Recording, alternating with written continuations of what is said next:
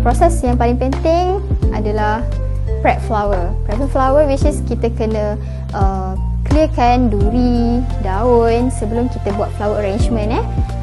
Untuk hantaran, kita tak perlukan satu tangkai ni untuk buat satu dulang. Kalau macam ni, I akan cut jadikan dia tinggalkan dia satu tangkai. So, I potong ni. Kita nak yang straight. So, I akan masukkan macam ni. I masukkan 45 degrees. Just tag atas dia saja.